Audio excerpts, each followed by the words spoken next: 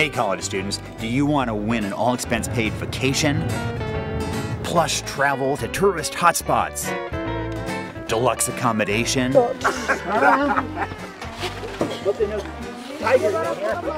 A warm welcome by hospitable local people?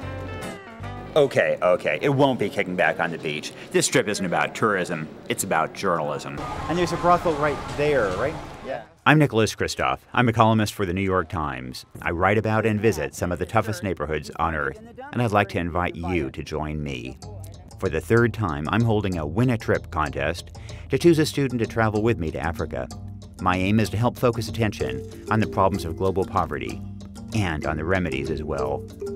On the first trip, I traveled with a Mississippi student named Casey Park. I'm not a girly girl, but I'm not exactly a seasoned hiker like Nick Kristof. Casey had never been outside the U.S. before. We encountered gorillas and elephants in the Central African Republic. Our vehicle was stopped by armed bandits on a remote track. And most poignant of all, we tried to help a mother of three dying in childbirth. We donated money and blood to try to save her life. But our efforts failed, and we were brokenhearted as we watched her dying. On the second trip, I traveled with Leana Wen, a medical student from Washington University. We met Rwanda's president and admired his country's economic boom. And in Congo, we had dinner with a warlord. And what do you call a warlord? Mr. Warlord? Your honorable warlord? And then met people starved by the depredations of his soldiers.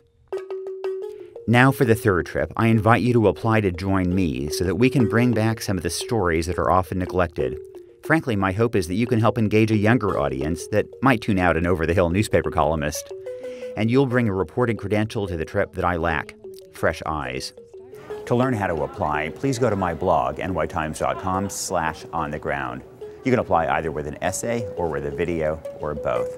You can submit your essay to my blog and upload your video to my YouTube channel, youtube.com slash Nicholas Kristof.